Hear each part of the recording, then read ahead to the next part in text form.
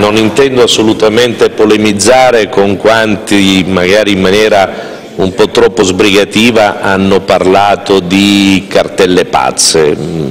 Eh, si tratta del doveroso fronteggiare da parte della nostra amministrazione comunale un fenomeno che nel passato non è stato contenuto né tantomeno contrastato, quello dell'evasione tributaria,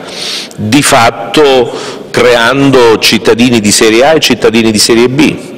cittadini privilegiati che ritenevano di non onorare il proprio dovere nei confronti della pubblica amministrazione che poteva contare sulla impunità, sul non perseguimento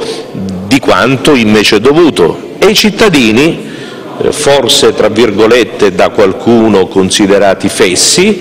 che pagano. Ecco, io non considero fesso chi paga e non voglio criminalizzare chi non paga, voglio mettere tutti i cittadini nella condizione di adempiere il proprio dovere, perché altrimenti l'amministrazione comunale, il comune, la città non solo non riesce e non sarebbe riuscita dal punto di vista formale a riequilibrare i bilanci, che il risultato che noi stiamo consegnando a poco più di quattro mesi dal nostro insediamento a tutti i cittadini, ma non uscirebbe dalla crisi, dalla crisi finanziaria, dalla crisi di liquidità drammatica nella quale invece è stata piombata negli ultimi anni. E allora nessuna polemica, semmai soltanto l'invito a riflettere di più e a non schierarsi eh, anche in forza del noto principio di eguaglianza tra tutti i cittadini e del principio di legalità, a non schierarsi dalla parte degli evasori ma dalla parte delle persone oneste per bene, che sono tante. Si ridurrà anche la sacca dell'evasione nel momento in cui il cittadino di Caltagirone, che peraltro è un cittadino che ha sempre avuto in somma rilevanza e importanza il senso delle istituzioni e della partecipazione alla vita pubblica, vorrà mettersi, come sono sicuro, si metterà in regola con i propri tributi. C'è poi un problema invece di errori, di errori formali che sono stati commessi, ma eh, noi abbiamo eh, anche accelerato il processo amministrativo questi errori sono stati già individuati, peraltro si tratta di percentuali molto basse, ai limiti del trascurabile. Attendiamo, nella collaborazione che abbiamo già istituito con quanti gestiscono i CAF, i centri di assistenza fiscale e i professionisti del settore, un rapporto di collaborazione perché in autotutela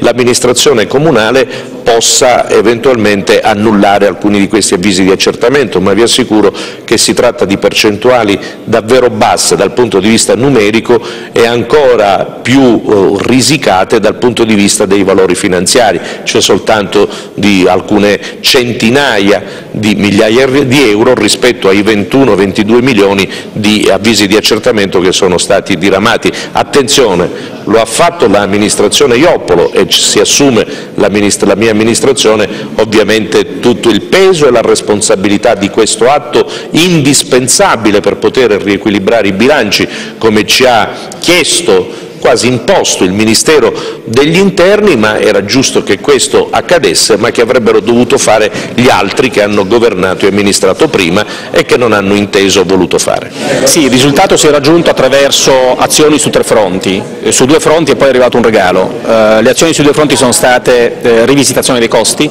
quindi eh, mantenimento di costi in bilancio eh, a fronte di eh, acquisti di beni o erogazioni di servizi effettivamente prestate, cancellazioni di tutti quei eh, costi che erano stati mantenuti iscritti ma che poi non avevano avuto una conseguenza né giuridica né economica. Questo ha comportato una eh, cancellazione di circa 5 milioni di, di costi. Eh, la eh, seconda azione è stata quella di poter iscrivere e mantenere delle entrate che erano state iscritte in eccesso rispetto alle imposte incassate e poter iscrivere ancora eh, alcuni milioni di euro di maggiori entrate grazie alla eh, notifica degli avvisi di accertamento che eh, confermano la capacità della macchina amministrativa di poter esigere eh, l'incasso delle, delle, somme. Questo è un tema eh, molto importante, come dicevo prima in conferenza stampa, eh, è un tema che riguarda la gestione amministrativa eh, delle amministrazioni del Sud. Eh, tutti i comuni in dissesto sono in dissesto perché non riescono ad avere entrate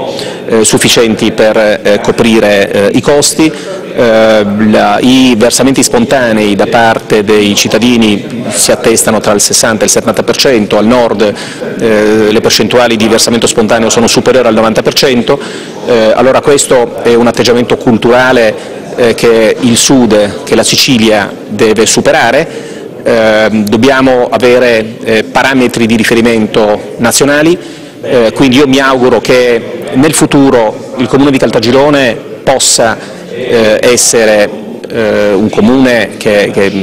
possa dare l'esempio eh, ad altri comuni del sud, della Sicilia, per eh, avere questa, eh, il pregio di avere incassi eh, di versamenti spontanei che si avvicinino al 90%. Eh, abbiamo avuto un'iniziativa eh, come comune, come amministrazione, di coinvolgere i 17 comuni, adesso sono 20 in Sicilia, dissestati, facendo, abbiamo fatto una riunione a Caltagirone con, i, con, alcuni sindaci di questi comuni dissestati, ne faremo una prossima riunione a Barafranca il eh, prossimo eh, 21 novembre, poi ne faremo delle altre, faremo delle riunioni mensili con i comuni in dissesto e poi estenderemo questo invito anche ad altri comuni che sono in predissesto per condividere esperienze e cercare di eh, eh, condividere eh, le migliori esperienze che arrivano dall'attività dalla, eh, amministrativa del giorno per giorno per dare una mano eh, direi proprio di tipo culturale a cambiare pagina, eh, quindi mh, non dobbiamo avere paura che eh, abbiamo, stiamo facendo le cose per bene, che facciamo visite di accertamento, perché tutti i comuni in dissesto c'è condivisione su questo, o si fa questo o si muore. E Caltagirone non vuole morire. Scusi, 47.000 eh, cartelle che avete notificato, viene la media di una cartella, più di una cartella a persona. Un nucleo familiare di 5 persone si vede arrivare 5 cartelle? No, non è così. Non è così perché, come spiegavo, eh, la matematica dice che non è così. Eh, noi abbiamo circa un 30% di eh, contribuenti che non pagano spontaneamente le, le imposte, a Caltagirone abbiamo circa 16.000 contribuenti, un terzo di 16.000 e poco più di 5.000, tra 5 e 6.000.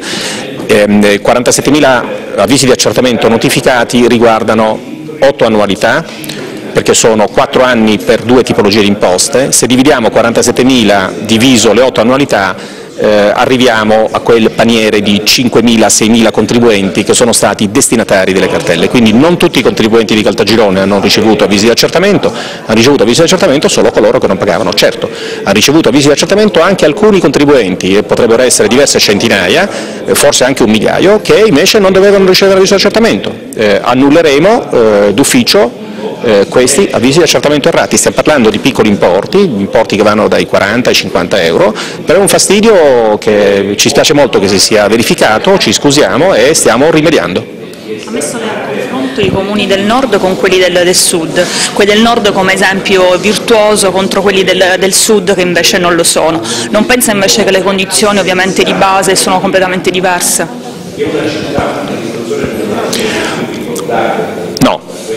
Per una semplice ragione. Eh, quando facevo quelle statistiche mi riferivo all'IMU. L'IMU si paga sulla seconda casa. Eh, certamente c'è un maggior disagio economico al sud rispetto che al nord, ma quando parliamo di imposta sulla seconda casa, certamente possono esserci dei contribuenti che hanno ricevuto una casa in eh, eredità,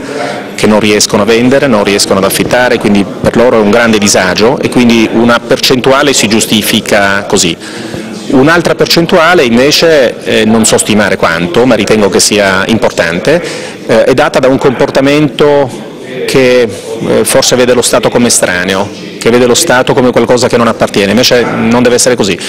Eh, se al nord si pagano le imposte sull'IMO per, in, con versamenti spontanei per più del 90%, io non vedo delle ragioni di disagio economico che dicano che al sud si devono pagare per il 50%. Una percentuale di scostamento lo giustifico con la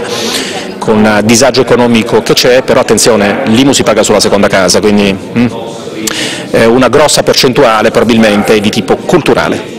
Tempi tecnici per chiudere finalmente questo dissesto? Tempi eh, certi se ci sono? Tempi certi ci sono perché abbiamo varie fortune. La prima fortuna è che il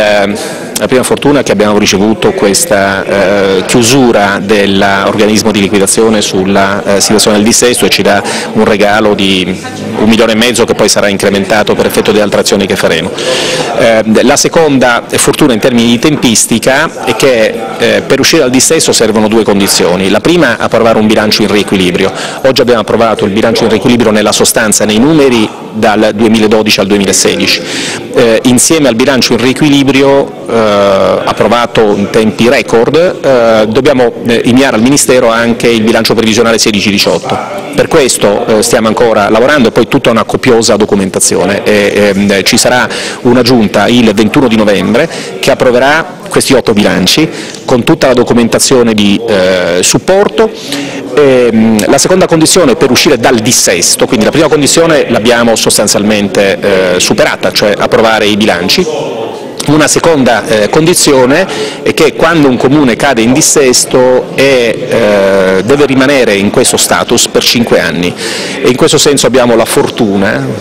si fa per dire, che eh, Caltagirone eh, è caduta in dissesto con effetto 1 gennaio 2012, quindi i cinque anni eh, si esauriscono col primo gennaio 2017. Quindi questa Giunta, eh, grazie a, purtroppo a questo periodo, periodo eh, enorme trascorso di eh, vergogna di, eh, di Sesto, eh, il primo gennaio del 2017 saranno già eh, scaduti cinque anni e quindi vuol dire che nella primavera del 2017 con dignità e orgoglio Caltagirone non sarà più un comune in dissesto. Bene, certo, allora eh, il 21 novembre ci sarà un aspetto eh, formale della Giunta che approva tutti i bilanci che eh, devono essere trasmessi al Ministero, che sono eh, i bilanci 2012, eh, il periodo 2012-2016 e il bilancio previsionale 2016-2018. Eh, Dopodiché ehm, questi documenti saranno dati ai revisori e alla prima commissione del Consiglio Comunale, la Commissione Bilancio, che avrà un tempo idoneo per esaminarli, dopodiché si andrà in Consiglio Comunale. Io ritengo che eh, entro un paio di settimane dal 21 di novembre, quindi eh, entro l'Immacolata, il Consiglio Comunale possa essere nelle condizioni di deliberare l'approvazione di questa copiosa massa di eh, documenti che trasmetteremo al Ministero dell'Interno e con eh, diciamo la, la, prima settimana di dicembre eh, possiamo ritenere conclusa questa eh, maratona stata stancante ma come eh, tutte le competizioni quando si arriva al traguardo di grandissima soddisfazione.